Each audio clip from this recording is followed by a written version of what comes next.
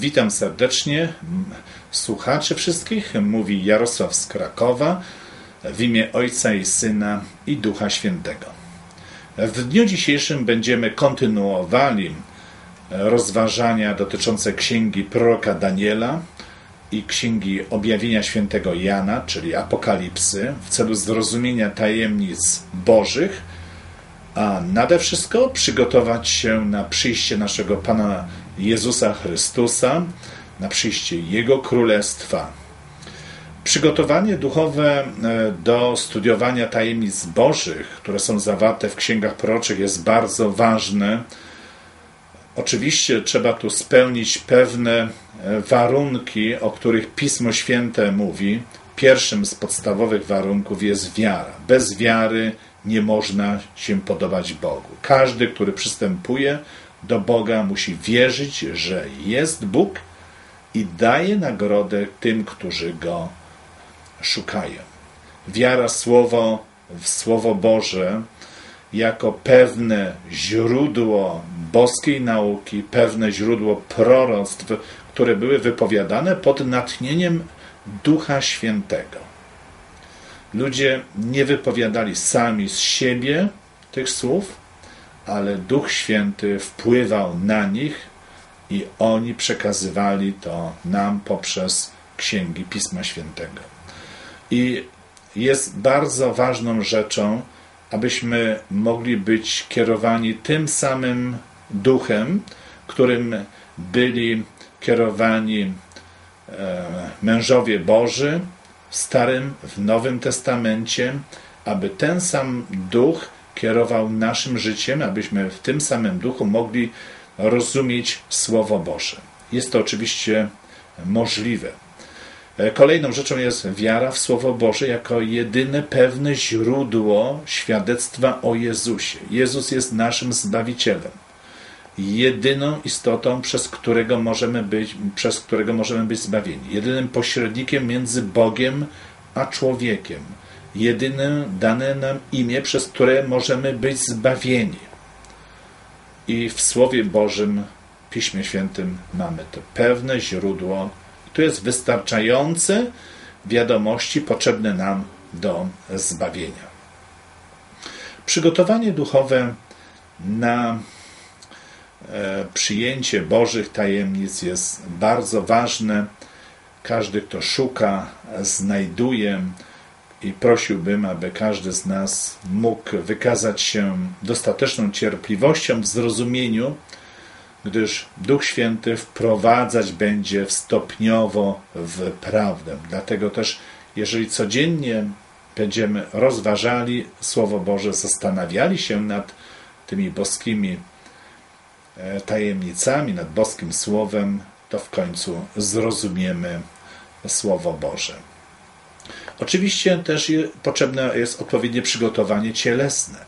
W pierwszym rozdziale Księgi Daniela mamy o przygotowaniu ciała na przyjęcie e, Bożego objawienia. Mianowicie e, młodzieńcy izraelscy postanowili nie kalać się potrawami ze stołu królewskiego ani winem, które król pijał. Nie chcieli jeść to, co król im daje, ale prosili o jarzyny i wodę. Była tak zwana dziesięciodniowa próba wy, wypadła ona wspaniale, bo rezultatem tego odżywiania, tej diety biblijnej było to, że Bóg dał tym czterem młodzieńcom znajomość i rozumienie wszelkiego pisma i mądrości. Chyba o to nam chodzi, abyśmy mogli zrozumieć Boże Pismo, Bożą mądrość i abyśmy nie chodzili e, w ciemności.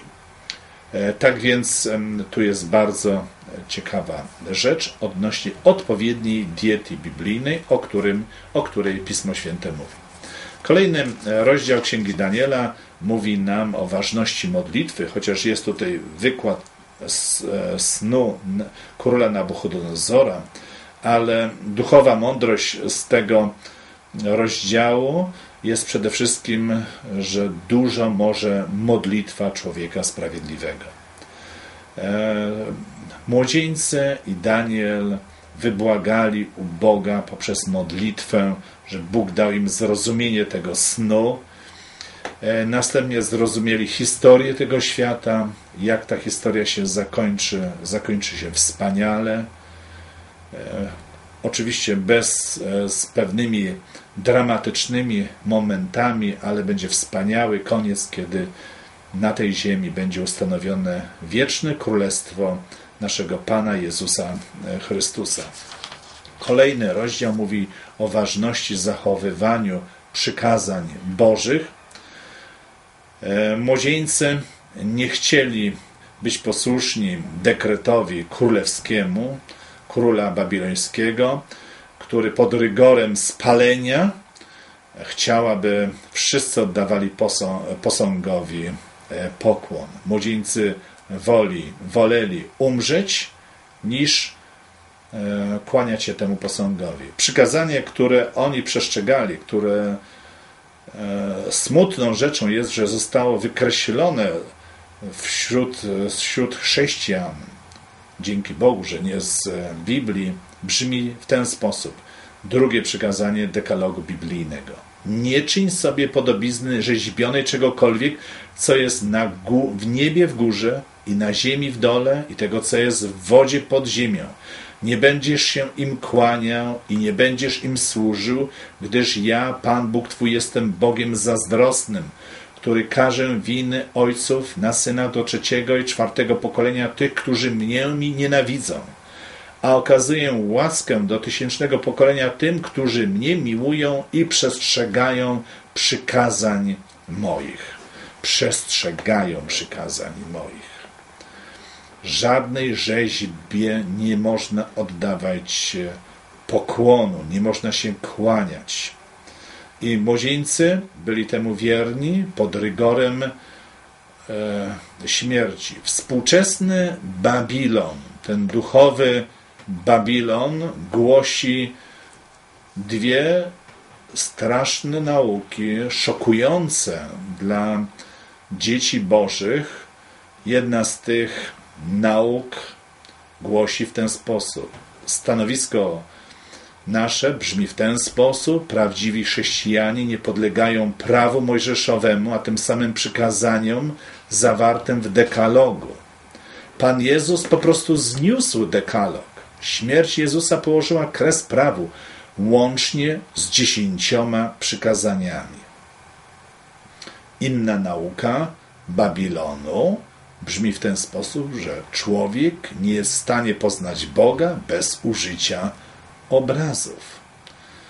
Kiedy popatrzymy się na przykazania z punktu e, widzenia matematycznego, to współczesny Babilon wykreślił z dekalogu, z dekalogu 180 słów, czyli 3 czwarte słów poszło do kosza. I w ten sposób powstała lepsza babilońska wersja dekalogu. Duchowy Babilon ma swoją wersję e, dekalogu. Dlatego Bóg apeluje: Ludu mój, wyjdź z tego Babilonu. E, kiedy patrzymy na zmaganie się Babilonu, e, który brzmi inaczej jako brama Boga, zmaganiu się z Jerozolimą, Bóg apeluje do wszystkich ludzi, którzy są we współczesnym Babilonie duchowym. Mówi w ten sposób: Ludu mój, wyjdź z niego. W księdze Apokalipsy mamy tutaj mm, bardzo ciekawie opisany ten współczesny Babilon, 17 rozdział, 6 wiersz. I widziałem tę kobietę pijaną krwią świętych, krwią męczenników Jezusowych. I ujrzawszy ją, zdumiałem się. Poprzedni werset mówi piąty, a na czole jej wypisane było imię o tajemniczym znaczeniu Wielki Babilon matka wszetecznic i obrzydliwości ziemi. Wielki Babilon, tajemniczy e, Babilon. Skąd pochodzi ten współczesny Babilon? W 13 rozdziale mamy odpowiedź od pierwszego wiersza. I widziałem wychodzące z morza zwierzę, które miało dziesięć rogów i siedem głów, a na rogach jego dziesięć diademów, a na głowach jego bluźniercze imienia. A zwierzę, które widziałem, było podobne do pantery, a nogi jego jak u niedźwiedzia, a paszcza jego jak paszcza lwa. I przekazał mu smok siłę swoją i tron swój i wielką moc. Czy nie jest to rzecz szokująca? Kto daje władzę Babilonowi? Szatan, smok. Siłę, tron i wielką moc. Czy, czy chcemy służyć szatanowi? Być jemu, jego poddanymi? No chyba nie. Chcemy wyzwolić się od szatana, służyć Bogu. Dlatego też e, celem naszych tutaj rozważań jest identyfikowanie Babilonu, współczesnego Babilonu, który uważa się, że jest bramą do Boga, że przez niego dochodzimy do Boga. Babilonu, który poi wszystkie narody swoim winem, który myśli o wiecznym panowaniu, który uwielbia posągi, czci Boga pod postacią posągów i zmusza ludzi do oddawania pokłonu tym posągom. Babilon następnie pali nieposłusznych. Babilon uważa, że zajmuje miejsce Boga na ziemi, że ludzie muszą mu być posłuszni. I następnie Babilon wprowadza wielkie zamieszanie. Dlatego e, Bóg wysyła swoich posłańców, wysyła swojego Ducha Świętego, swoich aniołów, aby ostrzegli ludzi przed konsekwencjami bycia i służenia Babilonowi. A wy wybrali służbę Bogu jako Stwórcy i oddali Mu pokłon i cześć, i aby zrozumieli, kim są, kim i czym jest Babilon i wyszli z niego. To jest właśnie bardzo ważne. Obecnie przejdźmy do e, dzisiejszych rozważań. Dzisiejsze rozważania będą dotyczyły ostatniego dnia, a właściwie ostatniej nocy Babilonu. Nastanie kres e, Babilonu. Tak jak nastał kres starożytnemu Babilonowi e, w dniach, w czasie panowania króla Belsazara, e, jest bardzo znany ten rozdział piąty, kiedy pojawił się napis na ścianie tego miejsca, gdzie było zebrane tysiąc dostojników, którzy e, gdzie była wielka uczta, pili wino. I tu znowu mamy to samo powtarzane.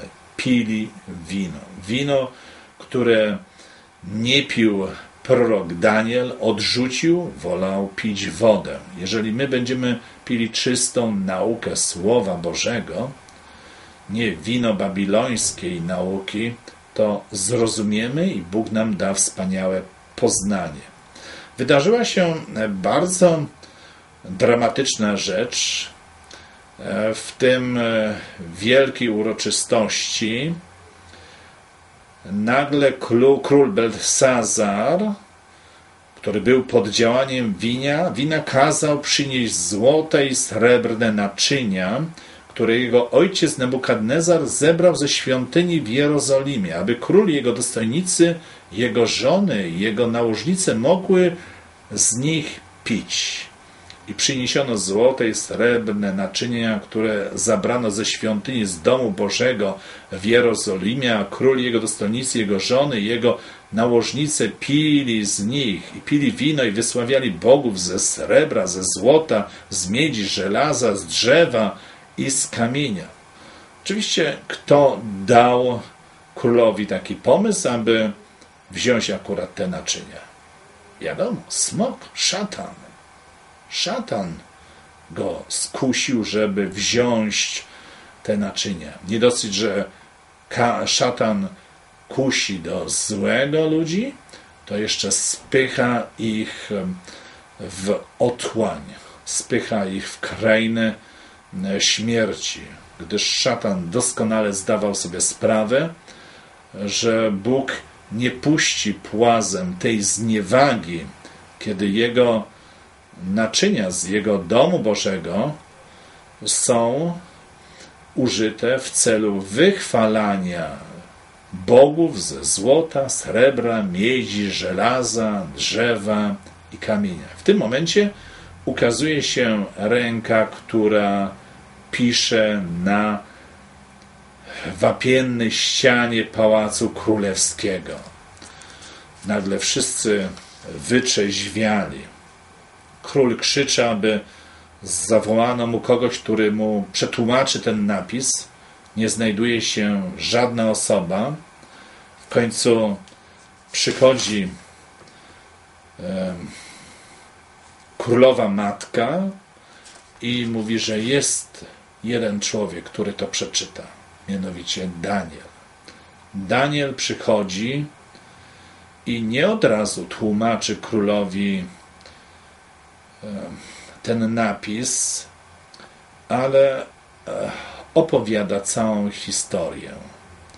Historię jego ojca, Nabukadnezara, jak mu Bóg dał władzę nad wszelkimi królestwami, jak jego serce wywyższało się, jak Bóg go poniżył. I w 22 wierszu Daniel mówi w ten sposób: A ty, jego synu Belsazarze, nie uniżyłeś swego serca, chociaż to wszystko wiedziałeś. Jego ojciec uniżył serce przed Bogiem, ale jego syn nie zrobił tego. Lecz przeciwko Panu nieba się podniosłeś przeciw, podniesiono przez Ciebie naczynia z Jego świątyni, a Ty i Twoi dostojnicy, Twoje żony i Twoje nałożnice piliście z niego wino i wysławialiście bogów ze srebra, złota, miedzi, żelaza, drzewa i kamienia, które nie widzą ani nie słyszą i nic nie wiedzą, a Boga, w którym ręku jest Twoje tchnienie i do którego należą wszystkie drogi Twoje, nie uczciłeś. Babilon uwielbia rzeźby, uwielbia malowidła uwielbia oddawać posągom cześć. Kiedy oglądamy starożytne ruiny Babilonu, widzimy, że to miasto było nadzwyczaj bałwochwalcze. Jeżeli ktoś był bogaty, robił sobie Boga ze srebra, ze złota. Jeżeli ktoś biedny, szedł do lasu, z kawałka drzewa, wycinał sobie odpowiednie miejsce, malował lub rzeźbił, klękał przed tym, przed tym i mówił: Tyś Bóg mój, wybaw mnie. Następnie Daniel wykłada napis Mene, Mene, Tekel, Upsarim. A taki jest wykład tego słowa. Mene, Bóg policzył dni Twojego panowania i doprowadził je do końca. Tekel, jesteś zważony na wadze i znalezioność lekki. Peres, Twoje królestwo będzie podzielone i oddane Medom i Persom. Tej samej nocy został zabity Belsazar, król haladejski. Jest bardzo ważna nauka wypływająca z tego rozdziału. My możemy oczywiście odnosić te słowa do króla Belsazara, ale ten napis, który pojawił się w sali biesiadnej króla, odnosi się do każdego z nas. Wiadomo, że wcześniej czy później każdego z nas dni dokończą się. Będzie koniec. Jedynie Pan Bóg wie, kiedy to nastąpi. My nie jesteśmy w stanie kontrolować tego procesu. I dlatego też musimy być przygotowani, powinniśmy być przygotowani na koniec. Dlatego też nasze całe rozważania, studiowania mają doprowadzić do tego, aby być gotowy. Chrystus bardzo często mówi: Dnia i godziny nikt nie wie. Bądźcie gotowi, bo jak złodziej przyjdę w nocy o godzinie się, której nie spodziewacie. Musimy być gotowi w każdej chwili na przyjście naszego Zbawiciela. Król Belsazar, zamiast um, ukorzyć swoje serce przed Bogiem, w tej tragicznej momencie, kiedy armia Cyrusa otoczyła e, Babilon, e, kiedy Medowie i Persowie zdobywali to miasto, on poddał się wielkiej rozpuście, wielkiemu e, pijaństwu. I dlatego jesteś zważony na wadze i znalezioneś lekki. Lekki jak piórko i Twoje królestwo będzie podzielone i oddane Medom i Persom. My, jako chrześcijanie, oczekujemy na Królestwo Boże. W pewnym tekście Ewangelii Chrystus mówi, że będzie wielki płacz, zgrzytanie zębów, kiedy zobaczycie Izaaka, Abrahama i wielu, wielu ze wschodu, z zachodu w Królestwie Niebieskim, a sami będziecie precz wyrzuceni. Żyjemy nie po to, aby być precz wyrzuceni, a żyjemy po to, aby znaleźć się w Królestwie Niebieskim, aby tam by było nasze miejsce. Jest siła, która ze wszystkich stron stara się temu przeciwstawić. Jest to współczesny Babilon, który poi narody winem swojej nauki. Także ludzie nieświadomie czczą babilońskie bóstwa, tylko pod innymi nazwami. Są posłuszni Babilonowi. Bóg chce, aby ludzie wyszli z, z tego Babilonu i zwrócili swoje myśli do Jerozolimy, do współczesnej Jerozolimy, do Jerozolimy która jest w niebie. Ostatnie rozdziały Pisma Świętego e, opisują Nowe Jerozolimę, Nową Jerozolimę. Tam nasze myśli mają być skierowane. Nowa Jeruzalem, 21 rozdział od 9 e, wiersza. Mamy tu wspaniały opis Nowej Jerozolimy. Nowa Jerozolima, która zwycięży nad Babilonem. Dlatego też zachęcam wszystkich słuchaczy, aby oddali Bogu cześć i chwałę, aby pilnie studiowali Słowo Boże, aby wyszli z tego współczesnego Babilonu i swoje myśli skierowali do Nowej Jerozolimy, na którą oczekujemy i swoje myśli tam kierowali, gdzie jest Bóg, gdzie jest nasz Zbawiciel. Dziękuję bardzo za wysłuchanie e, tego piątego rozdziału Księgi Daniela. Mamy kolejny rozdział szósty, mówiący o próbie, którą przeszedł Daniel. My też tutaj na ziemi jesteśmy poddani różnym próbom.